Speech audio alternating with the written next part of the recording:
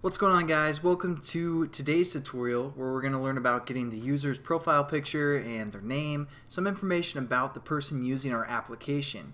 Uh, I don't know who this crazy sexy looking guy is, but if I was a woman I'd probably do him and uh, like his name too. Anyways, that's what we're going to create, so it's not too bad. Let's jump into it. Oh, spoiler alert. Let's delete that and uh, well we can leave that. Basically all I've done is I've created uh, within our menu screen I just added an ID to our text view because we're going to say like welcome and then the person's name and again we're going to work with our image view. So let's jump back over to the starting point class. Make sure you set up your new text view reference. I called it welcome. That's the only difference. Um, from there we're going to jump into it.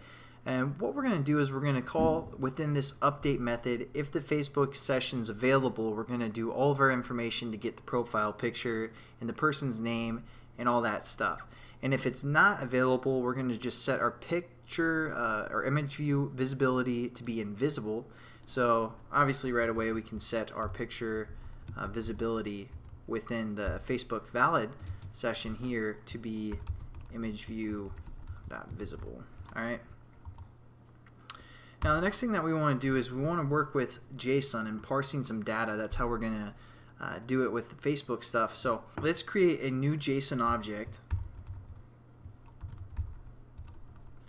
And we're just going to call this obj for ob and uh, set that to null. We're also going to need our URL that's going to be the specific image view URL. So we're just going to say image, um, image value, image URL, something like that uh, set that equal to null as well. Now what we want to do is we want to set up a string value. This is going to be our JSON uh, of the user themselves. So we're going to say JSON user and we're going to set this equal to a Facebook request. Um, again our Facebook object and we say request and we can actually ask for some specific information. So since we're trying to get the information of the user that key value is called me.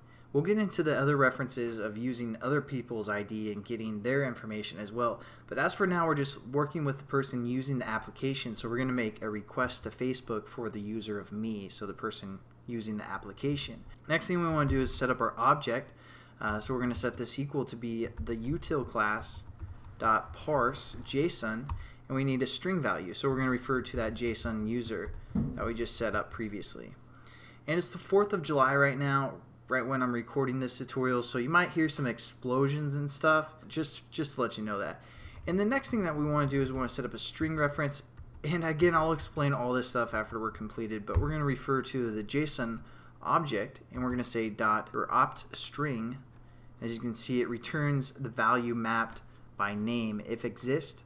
Uh, you can read the information again. We'll kind of explain everything as we go or after we're finished here, but we're going to say option string and we're going to refer to the ID. And now that's just the reference that we're looking for, the person's ID. Because if you go over to Facebook, let me see, Facebook.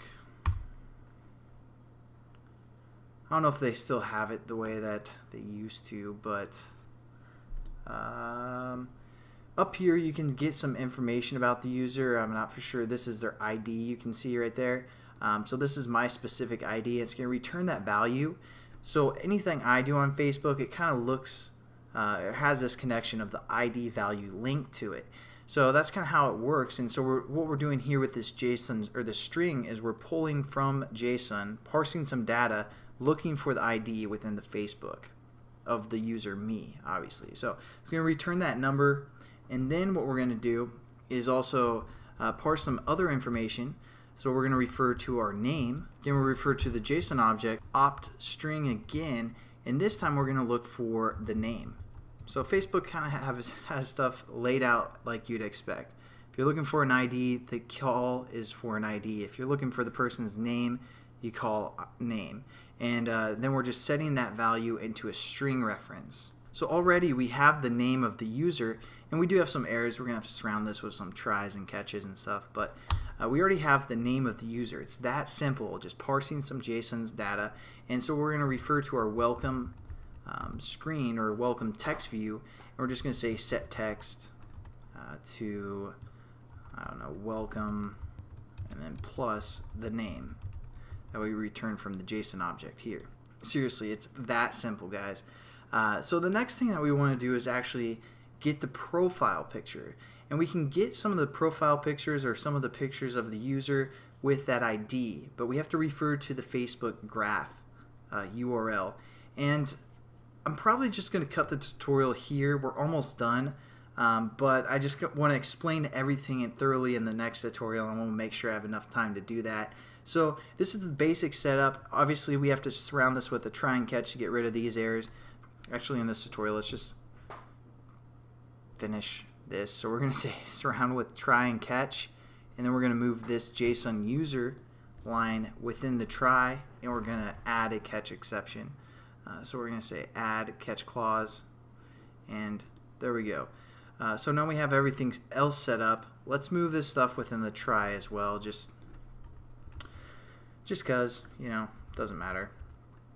So uh, there we go. Now we can actually return the value of uh, the person's name that's using the application. So thanks for watching guys. I will catch you in the next tutorial where we're going to parse the picture itself and set that to the image view.